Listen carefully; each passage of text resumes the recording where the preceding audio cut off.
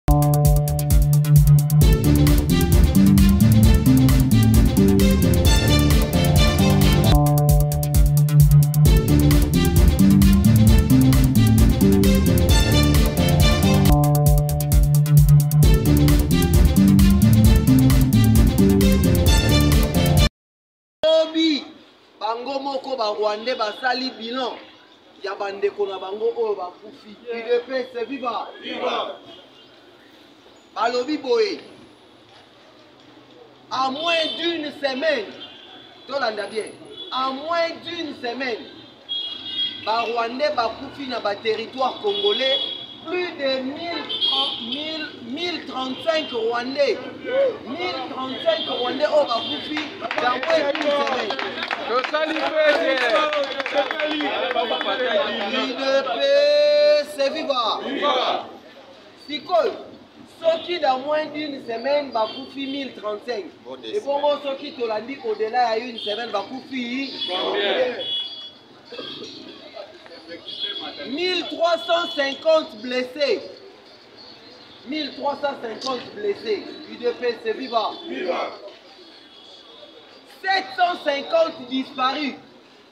oyo bazoyeba te bakufi baziki babungi bakimi bakei na mboka nini bazoyeba destination na bango te udps viva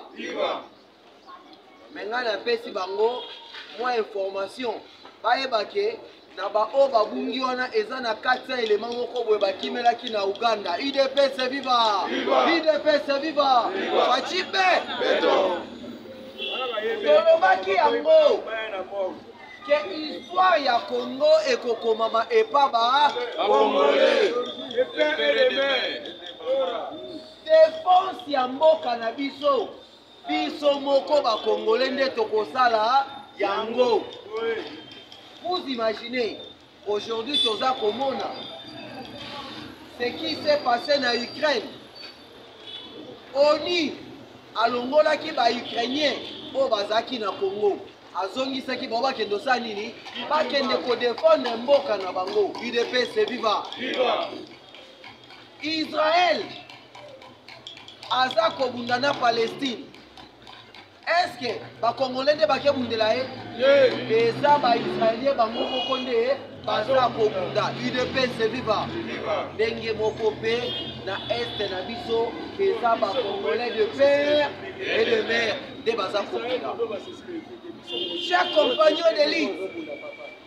baza kobenga bango ba vdp C'est-à-dire, ba volontaire pour la défense de la patrie, UDPS, viva! Viva! biso mpe awa na kinshasa tokoti deja na ba vdp biso toza bavolontaire toza kodefendre patrie na plan politique udps viva viva toza kopesa information mpo na kolamusa peuple congolais tolobaki ke baaventurier na politike lisusu te bango sur le plan militaire nde baza kodefendre patrie udps viva alors libala ya biso na ya bango nde ezosala ke to réussir parce que ntango toza koloba toza koleka na media population aza kolamuka aza kokende kosajoute en nombre epai ya baoyo baza kodefendre sur le plan militaire udps viva nde yango tomoni bomba bomba Amen. Nzokande, na baplace oyo ba M23 bazalaki, na ba village nyonso oyo bango baokipaki,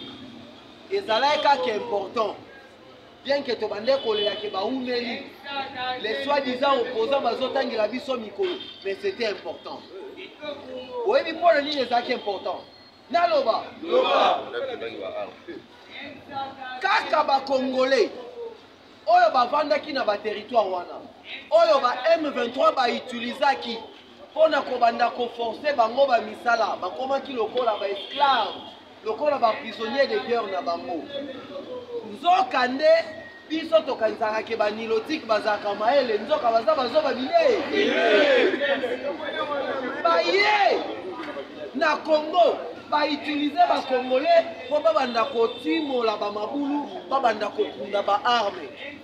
bango bapatron bavandi bazwi ba congolais bazo force bango bayebi ata ke bakotika libela na kongo nzoka nde ezalaki lokuta monene lokola tobengani bango kaka bakongole oyo bango baitilizaki bakomi siko kokende na baplace nyonso oyo bakundaki baarme bakomi kobimisa yango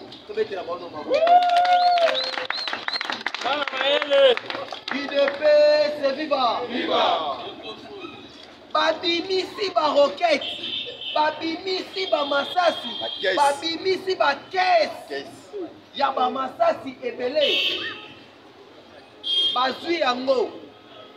babandi komema balobi tokei kopesa bawazalendo udps viva udps viva bacimbe nde yango mpo na ba m23 batikali kaka na dernier rempart na bango eza na bwiza udps viva udps viva sikoyo qu'est ce qui se passe na bwiza nde ezalaki place oyo bango nyonso babandaki kokila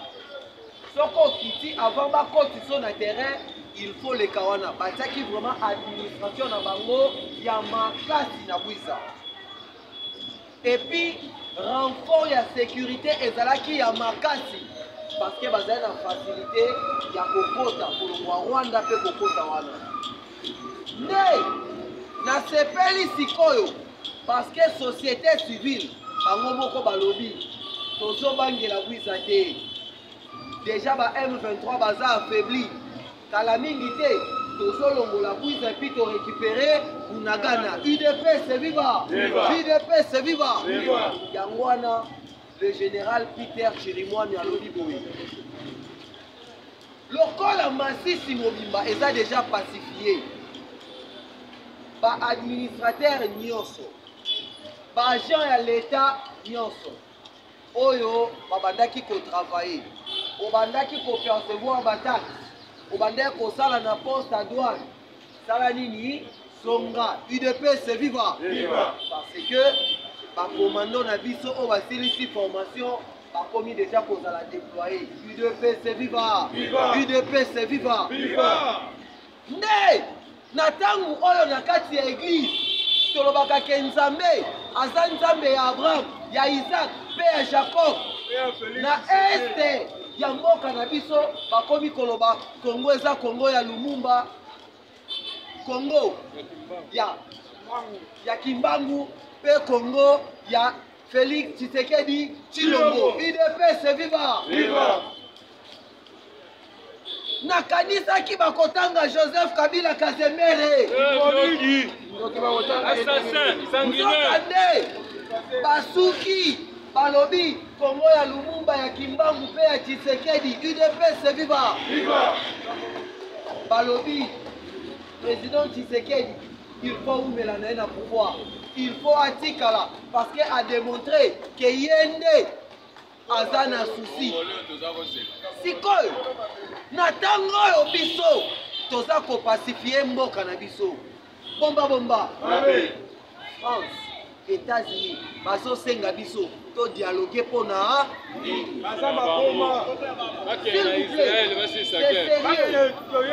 baza kokontinue kosenga biso to dialogue na kagame dialogue eza te mpo na nini basentir déjà ke batuti nyonso nazo précise bien hmm. nazo précise bien toza na problème na batuti te toza na problème na barwandais te toza na problème na batuti m23 baoyo bakolaboraka na baterroriste alors bakongolais tozalaki na position de faiblesse nzoka nde ntango tozalaki na position de faiblesse tobandai mpe koobserve ah, oyo nzoka nde ye moto aza koteka biso baboma biso ok sikoyo lokola mboka ekoti na maboko ya bakongole bango mpo bakomi kobanga bakomi siko kosala badeplacement bakomi komultiplie badiscours mpo na koloba ete baza koboma bato ya zolo milai udps viva bato wana ya zolo milai oyo babandi kokolabore na ba m23 bakolaboraki babomaki bakongole mpo na nini Ata toke na Bible balobi œil pour œil, dent pour dent. Ya Nzambe, ya Nzambe, ya Kaisala, ya Kaisala. UDPS viva. Toza déterminé sikoyo. Toza déterminé ya kozongisa bitumba epai wapi yango eutaki. UDPS viva. UDPS viva. Chers compagnons de lutte, bato baza kopretendre lobi kozwa kiti ya magistrature supreme me lelo nano bazwi yango te bazokoka korespecte mibeko na biso te matata ponyo après avoir kodetourne bambongo Matata Ponyo aye koyebisa biso que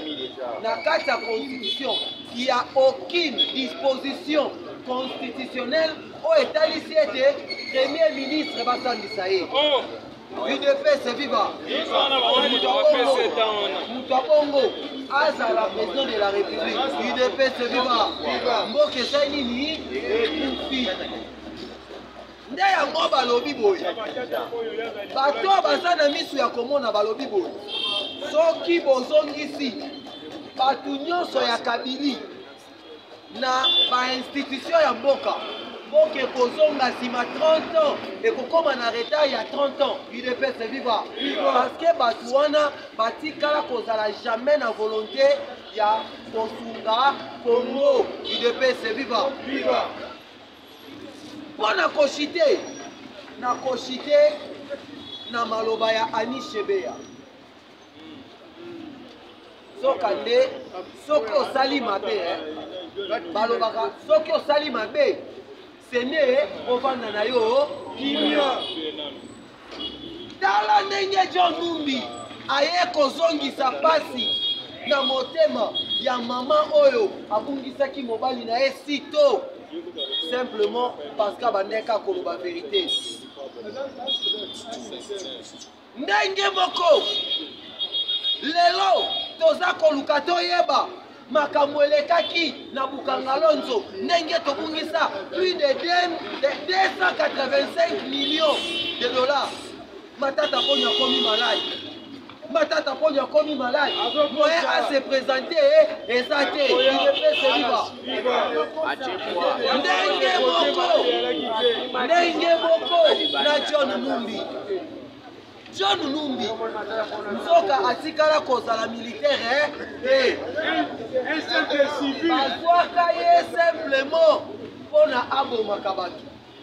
mosala oyo bapesaka ye ezalaka nde ya koboma bato nyonso baza kotelemela kabila udps viva tala regime regime oyo bayebeka kosakrifie vi ya bacongolais ndenge mpe bayaki kobimisa gedeon kyungu batambusi ye na batambour bantan na katanga mobimba mpo na kopesa ye misio ya koelimine bato udps viva udps viva eske biso sikoyo bakongole lelo tokondima bango bazonga na pouvoir ata mokolo moko ata na ndoto tokolota bango te basengi biso tokende na dialogue sadek a exige na président tshisekedi ke na décembre 2023 élection ezala te pprd asengi na sadek a exige na président tshisekedi ke na décembre élection ezala te est ce que biso toza prete mpo na baélection yango wana patrik muya ya arépondre bango clairement alobi ete sadek aza na likambo ya koloba na oyo etali kongo te biso moko bakongole ndenge tozwi desizio ya kopasifie este ndenge tozwi desizio ya kobimisa force ya erc ndenge tozwaki desizio ya kobengana monisco ndenge mpe tozwi desizio tokende na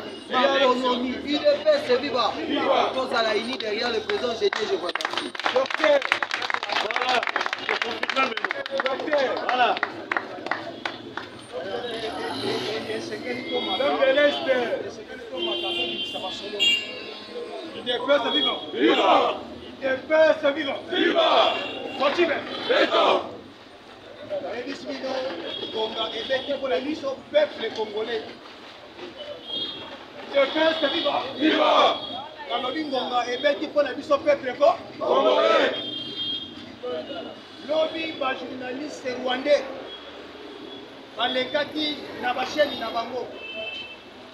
bazali mobilise balobi na poli kagame soki okokanga biso yaka kokanga soki mpe okoyita biso yaka koyita me biso esengeli toloba la verite ah. ya bamore oyo babomi epai ya bawazalendo udps viva viva nde omoni aparti ya lobi balekaki selema na televizio na bango balekaki na basheni mpe ya baradio na bango selema mpo na kotanga nombre de colonel e eh, balietena oyo babomi na congo démocratique epai ya bawazalendo oh, balobi apart les officiers militaires oyo babomi baoyo batikali wana nombre ezali incontable tokokoka kotanga yango te idepiote viva yango mpo totala nanu combien de personnes babomi tomeka koyeba mwa nkombo ya eh, bakafuru moto wana mpo biso tozali kotambola na ba épreuve de peuple vivant de peuple vivant yango tozoloba mosala ezosalama na terrain bana mboka ya wazalendo ya solo bazwa formation ya makasi mpe formation wana yango tomoni ezali kolengisa mokili mobimba balobi boye voici secteur haut gradé soldat rwandais de rdf tombé en république démocratique du congo entre le 9 et le 15 octobre 2023 ah. à ruchuru et masisi tué par les Ouazalendo. ya liboso nkombo na ye ezali kolonele mutejeko a été doué tombé en biscade avec huit gardes du corps bango nyonso wana bazali batuti donc kolonele na badisiple na ye baza batuti bango nyonso balongolaki bango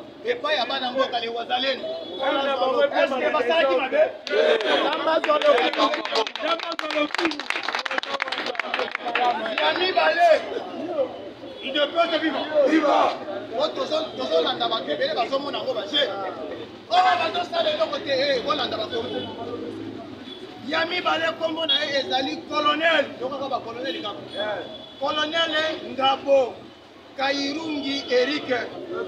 ye mpe azali tuti ah. bakongomani oyo tobengi le wazalendo balongolaki ye akendaki na mboka ya tata eske eh. eza mabe ya misato ya misato nkombo na ye ezali kolonele munyanziza ye mpe azali tuti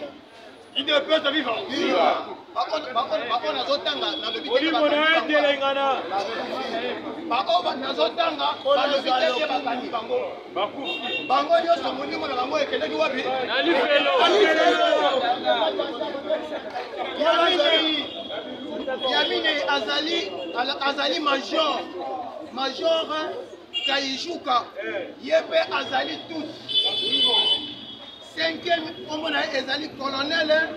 Eliya ye mpe azali tout a sixième colonel Munyampame ye mpe azali tout septième colonel Kibanja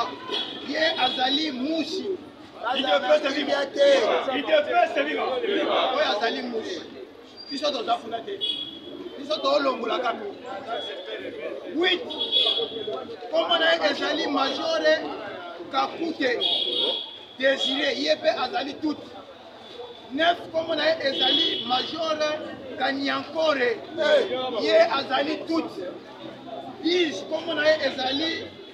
Major Samuel ye mpe azali tuti bilimo na bango telenganabilimo etelengana telengana yango tomoni selo bibembe oyo bajournaliste rwandais basangani balobi na ngungi ngungi tika kokosa bafamille na biso Yo na ba disciples na ya regime mobimba au moment où na RDC bana na biso basili ba colonel ba généraux L'UDPS est vivant. Yo awa ozokosa biso ke o oh, kuna nde biso tozoganye terrain nde omoni makambo eleka na rwanda nde tomoni les impérialistes de peuple vivant les impérialistes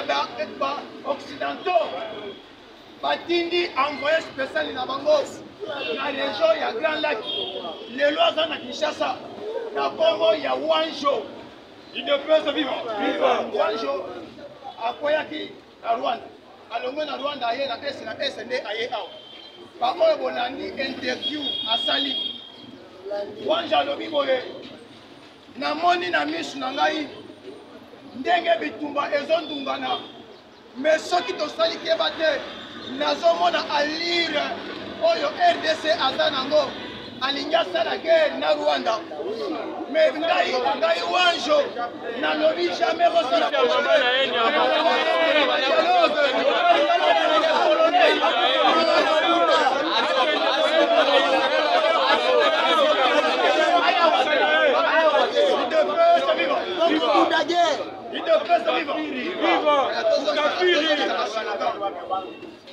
tozongisaka silima mpo matiere ntango ezomata mpo oza dialogue na mboka na ye idepesa viva akokufa ata na avion yango sikoyo wanjo alobi alire oyo rdc azali na yango ngai nazomona deja na elongi na ngai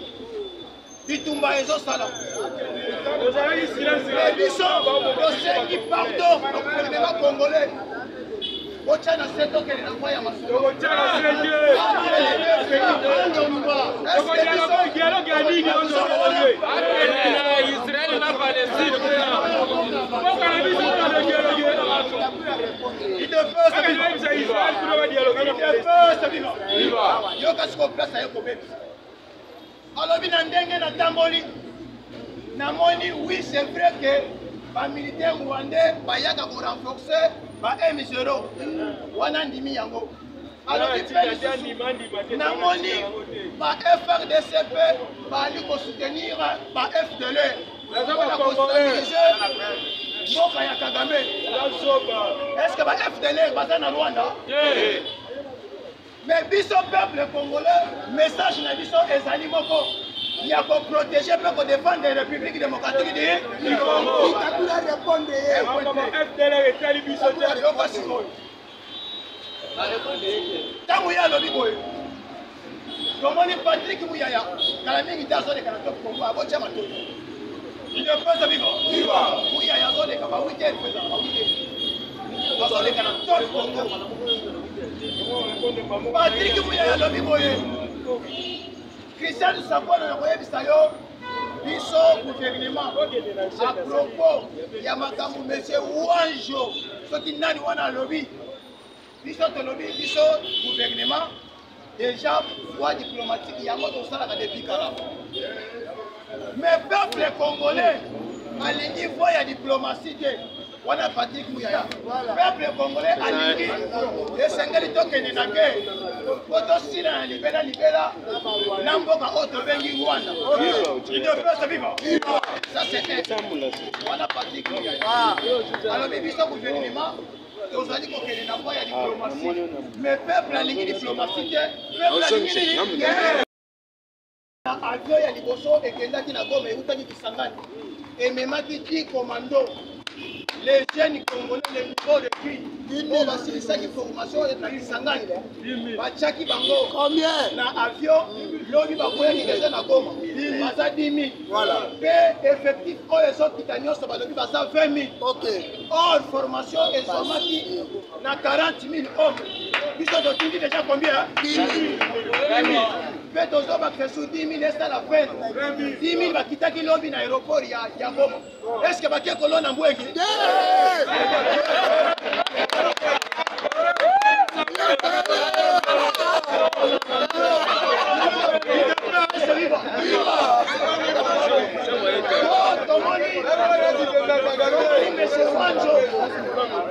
oyo azali imperialiste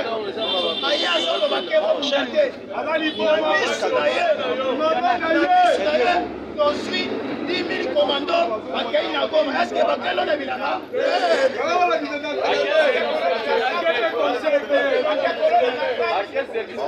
yango tomoni bandeko na nga bakongole mwa delegation oyo ya sadek oyo bayaki masolo tobetaki masolo na bango awa basalaki réunion na bango awa na hotel rotanao na bato ya fcc ntango bayaki esengelaki bakutana d'abord na gouvernement congolais bango bakei kokutana na bandoki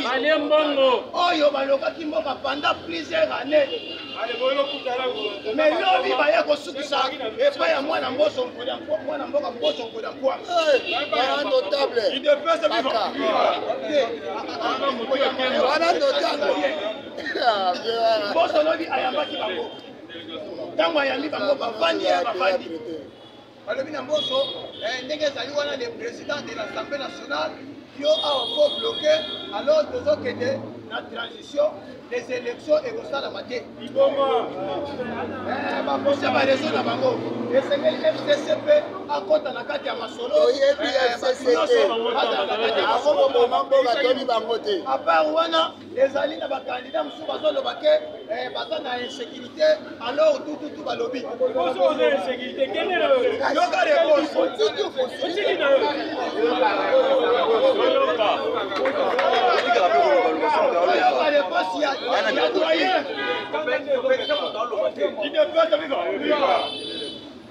yoka sikoyo reponse ya doyen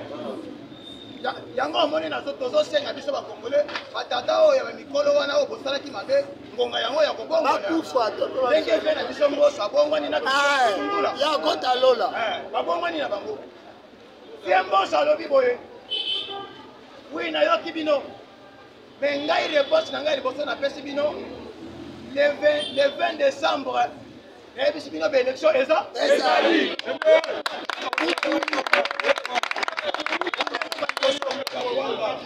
alobi le 20 décembre ata mbula ezobeta ya mabanga ata ya bakake peuple congolais akokende na baine kokende kote mpe esuki wana te pourquoi peuple fo akende kovote le 20 décembre nombre ya bacandidat oyo oyo bapostule na présidentielle eyebani 24 eyebani 24 nombre ya badepute nationaux eyebani provinciaux eyebani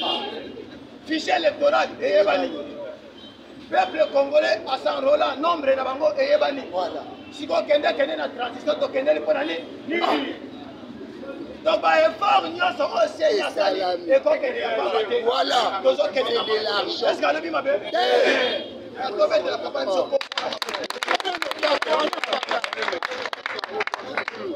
idepese viva ntango ayebisi bango bongo alobi boye consegna ko sécuriser tous les candidats bakozala na sécurité biso bacongolais tozali na armée ya makasi okay. toforme bajeune la police mpe ezali ekoyeba kosécurise motu nyonso mpe yo sadek place wana yango na sepeli yango makasi eh. yo sadek soki bokotinda baobservateur na bino na batemoin botindi soki bokotina te bosali nini bovandi peuple congolais azali aske vie mbosa alobi mabe yango tomoni bato wana lobi bazongaki na soni na bango bazonga o mboka na bango me place mama na likambo ezali Udps viva! Viva! Bato ya RC baleli ya tobetaki lisolo ya konvoi na bango oyo ezalaki bomatela lobi tolandi déclaration ya bakafulu moto oyo tobengi ba emisero toyoki mpe bato ya eac toyoki bawazalendo porte parole ya ba emisero alobi boye Cortège wana ya basoda ya EAC ezalaki bombarde par le contingent burundais mpo bango nde bazali à côté ya armée congolaise tomoni bango moko bato ya EAC basali déclaration balobi boye mituka minei wana ezalaki bombarde epai ya groupe armé moko boye nani to identifie bango te ba mc eh, wazalendo balobi bato babombarde motuka wana ezali ba emisero idepese viva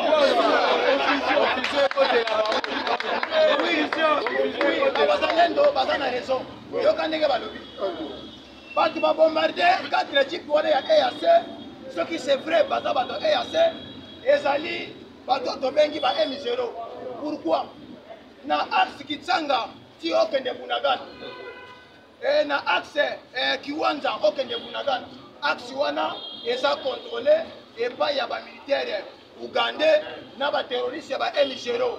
biso bawazalendo nani tokomi kuna te eh. Eh, baburundi mpe baza na masisi nani bakomi kuna te ba frdc mpe baza kuna te Udps viva! Viva! Udps viva! Viva!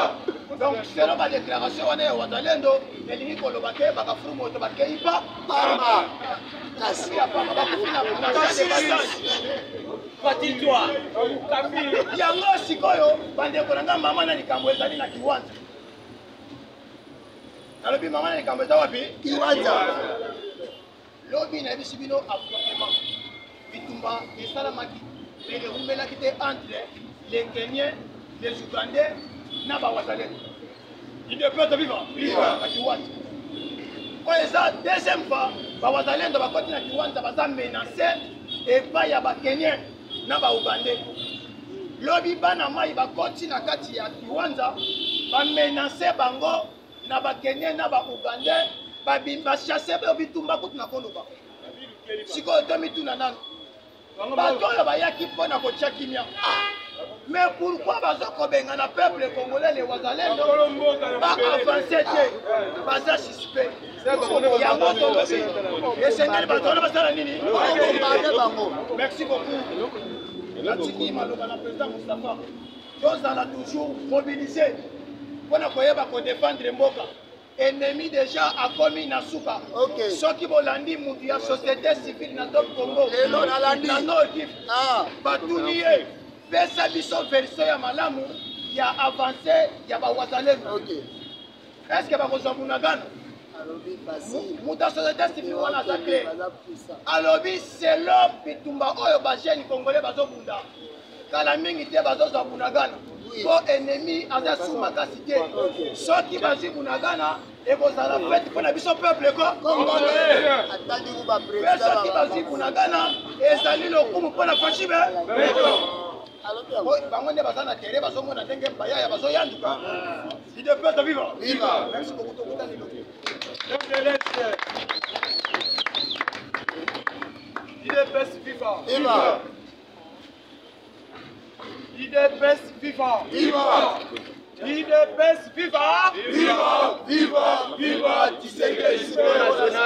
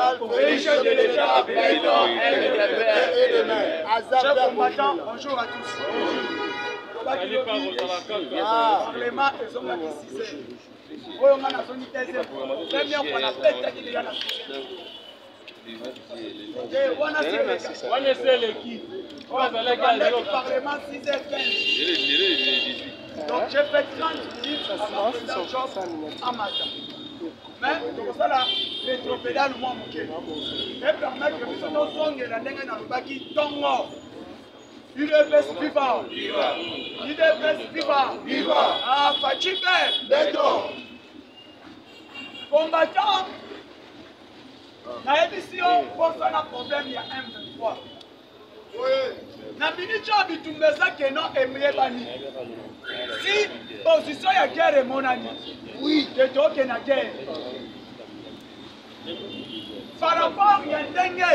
chef d'état major général abaki tozalaki na problème ya espace mais espace esali nini emonani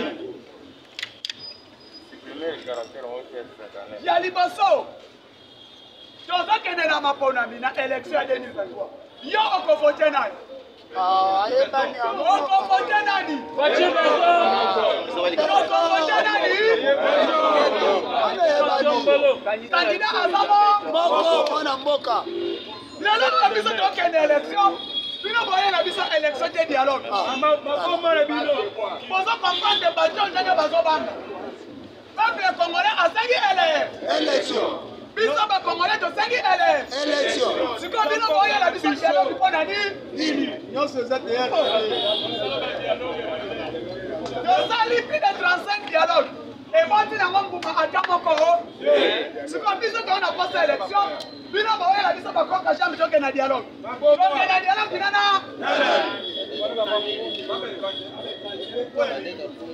tala nayebisaki bino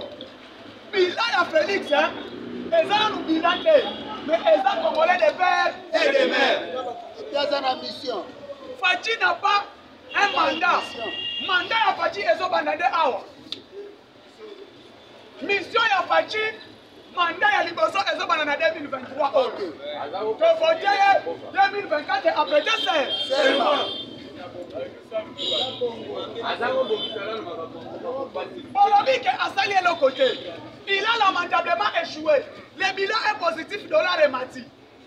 eloko bolobaki yango wana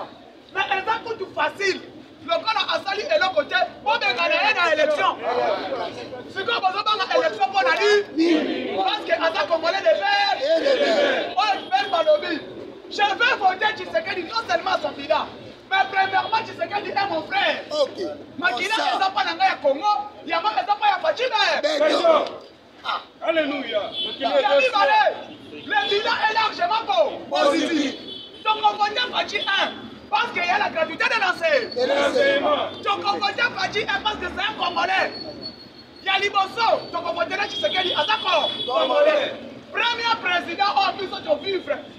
na histoire ya congo mama na ye azali papa na ye mpe tomona ye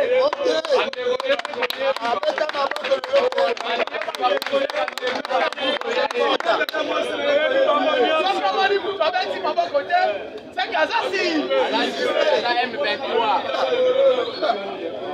premier président tozokote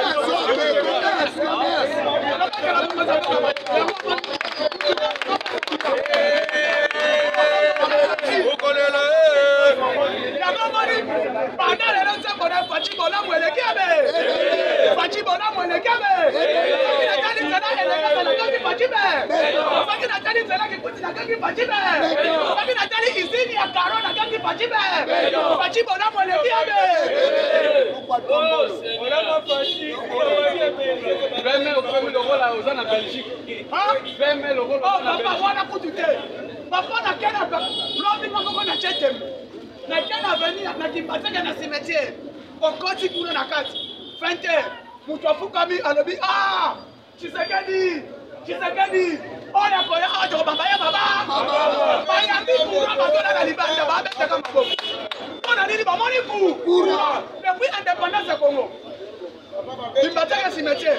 Ozwi bato na zambi, ozwi tingata kuna. Avenir revolution kuna likolo. Kura epe. Epe. Balobi fache eloko moko tikali. Longola ngobila basala nzela ya Kimbataka. Soki basali ka nzela oyo, tokoboya balongola yo.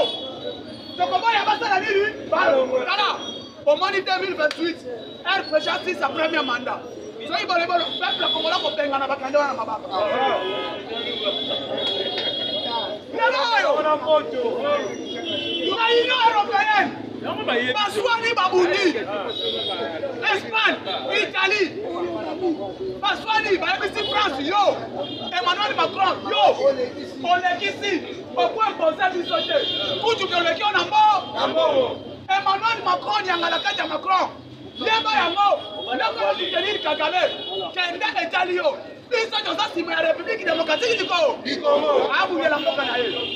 nini eleki tala mayele ya lutundula na conseil de sécurité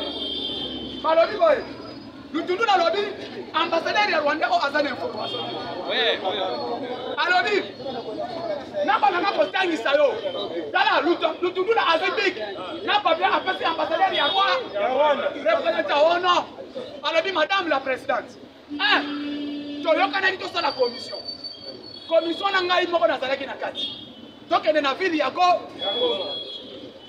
mpo na problème ya barefugie tokutana parceke bango balobi barefugie congolais baza na rwanda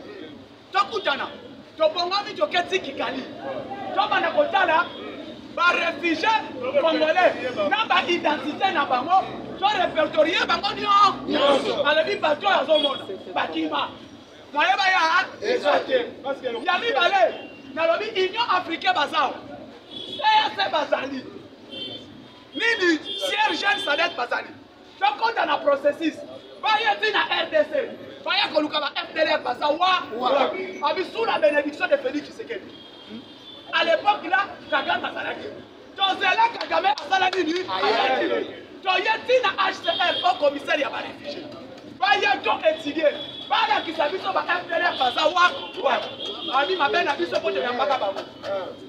akimi problème ya M23 babi toyokani na bango après cantonnement na après cantonnement tokutani tosololi boya barwandais moye baya eza te alobi maintenant nous sommes fatigués le président est tellement pas fatigué l'état maintenant est arrivé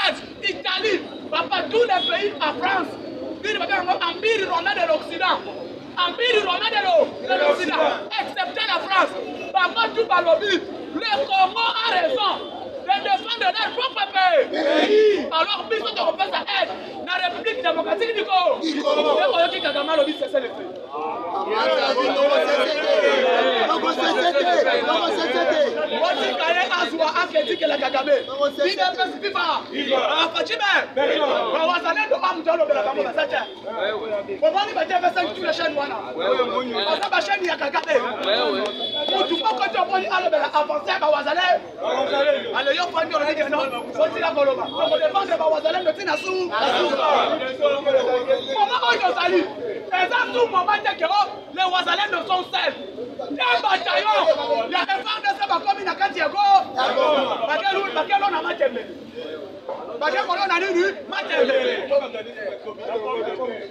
ekombata biso awa tosenga kabila baelection kabila abengela biso edeni cochon edeni cochon comme facilitateur mutu tu ayebi edeni kojo azalaki na profil te koleka tshisekedi ni mabimulumba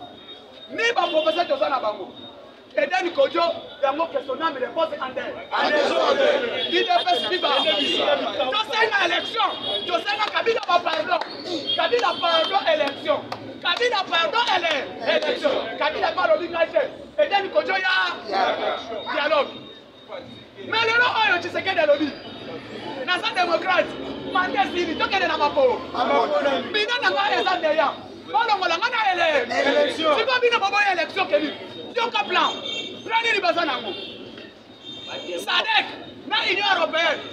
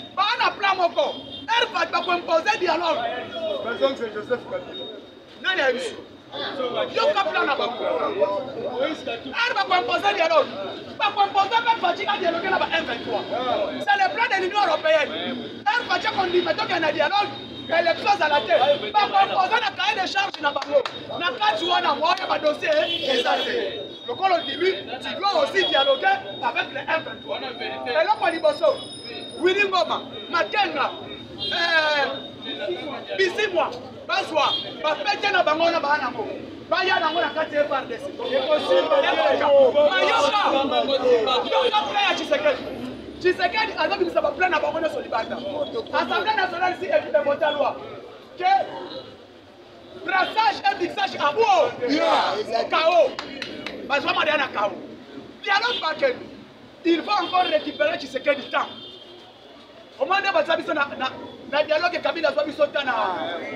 ya basango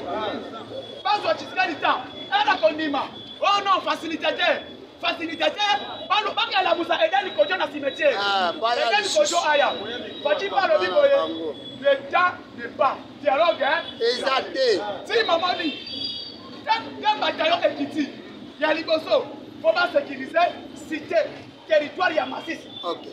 il faut sécuriser masisi enrôlement esala nini idps viva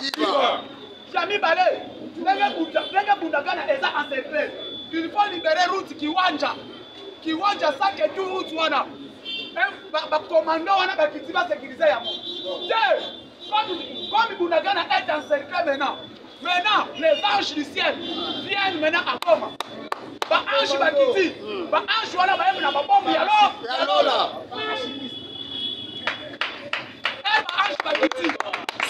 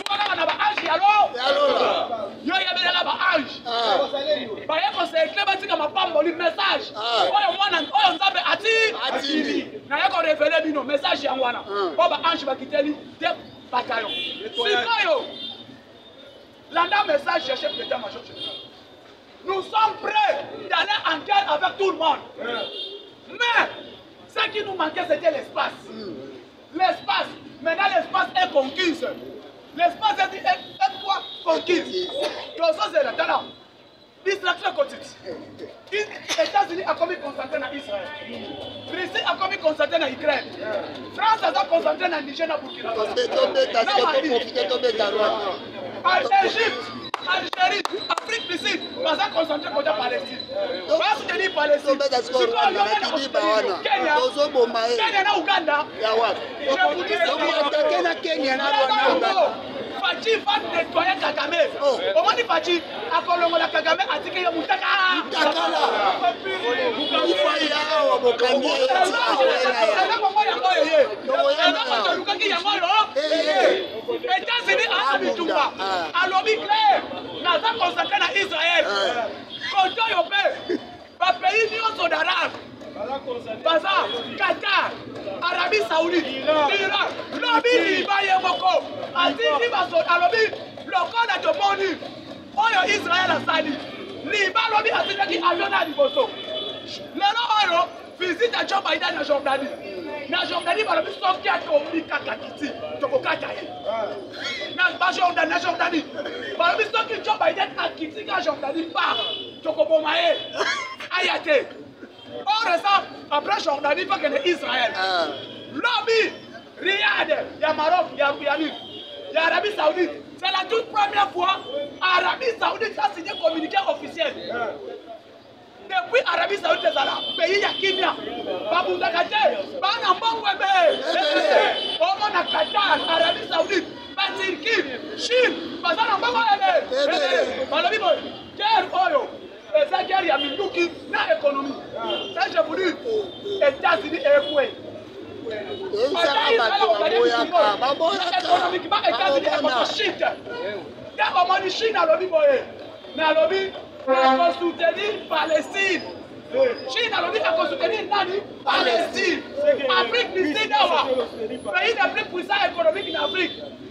Afrique du Sud alobi ako soutenir nani Palestine. Balobi yango lobi communiqué officiel.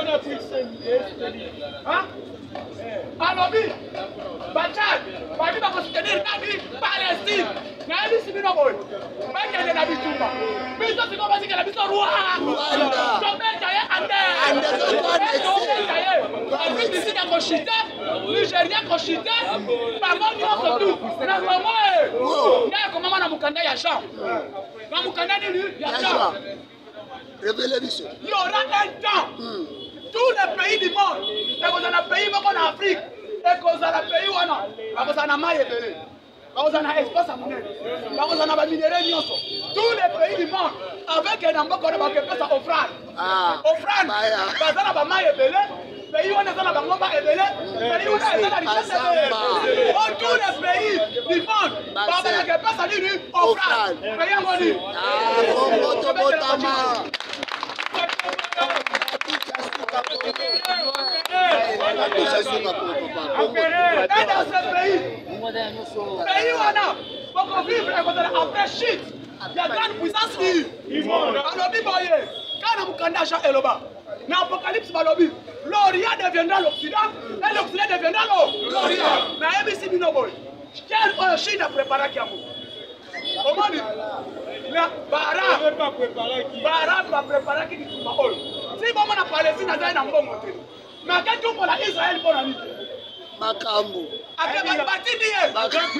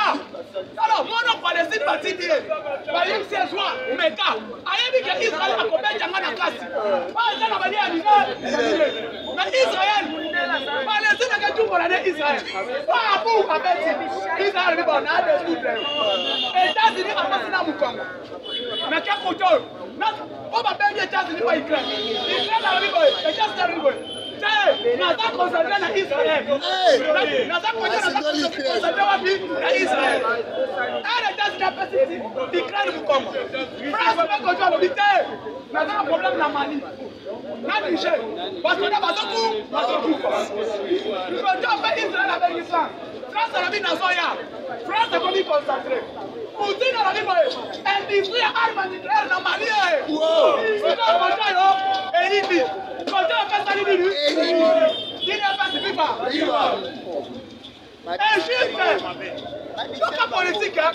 kala ta ya nzambe ekoki oyo afrike bazala libere papa egypte bandaka akota bitumbo egypte akomi je suis derrière pa palestine epuis bato nyonso bokotelaka na bana ya gaza apati egypte oyeba yango soki boye mpona korenforce israel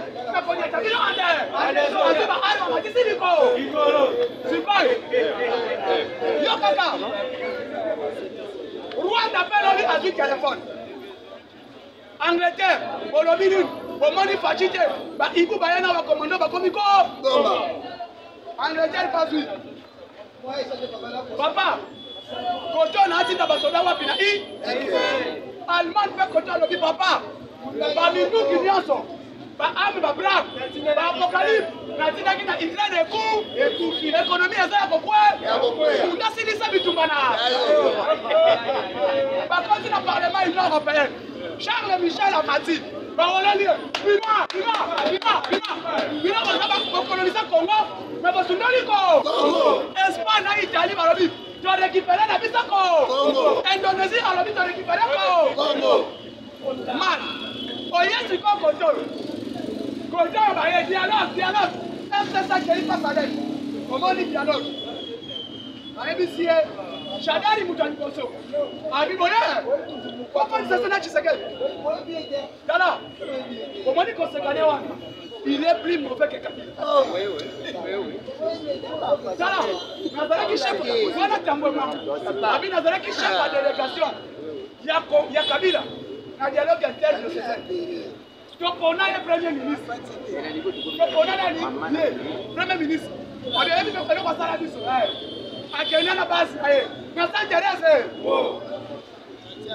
Onili nazala president to nazala premier ministre. Base ezongisa nini? President. Base ezongisa nini? President. Azongi premier ministre asala nini? Alongwe na bami na ye bakenda ti na Genève. baketeka ye bomoni base na ye wana eloba bima na kuna sala nini longwa aretira asala kampanye na bwatu kampanye na nini na bwatu epuis soki alobi a ah, etikalaka ah, ndenge alobaki dialoge eza te memi boye ata mwasi na ye alobi akoyoka te ndenge alobaki boye atindaki bato bakota arme yeba yango bien tshisekedi patati nayaki bango nayo atindi bango bakepa ngobila ngobila lobi meme bayebisi bango boye na classe soki obeti ye apupoli lobi aye lisusu obunda susu obeti ye apupoli lobi aye susu obeti ye asali nini apupoli jour bakobeta yo nde place ya kosala nini omoni rwanda ameki amati nzete nzete amati place akokitela eza te ndenge ba m23 bakoti na congo kombo na bango libulu yo sadek ndenge azwaki manda na ye esili azongiseli bino ndenge aboyi koyamba bino abuo tango mwamba alobi tshisekedi etelema strik a na ye etikalaka a soki apesi yo mokongo balobi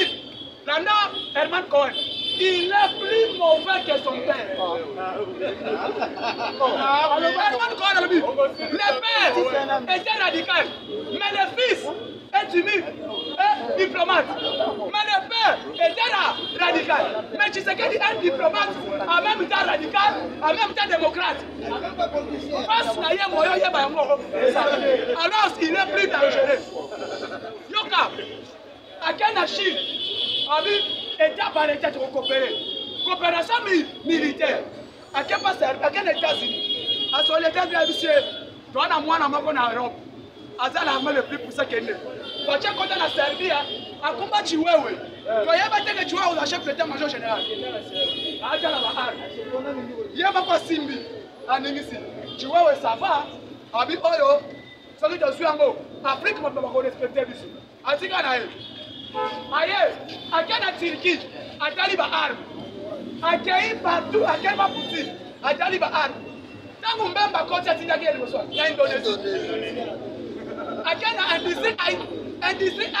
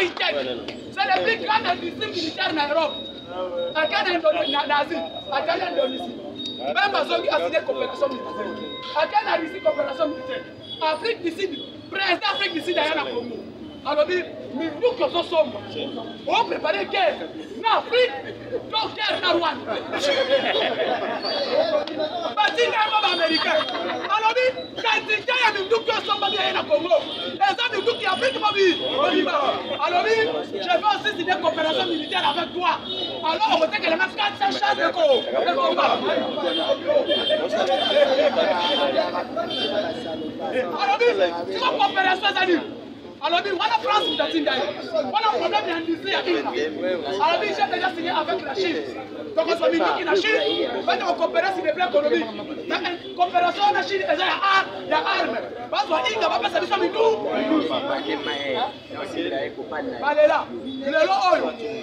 ntango oyoki sikoyo ciwa balobi tokondi oluka espace espace ezwa ski veut dire nao ba avion na biso ekomata nyonso alors tokondi sikoyo abuo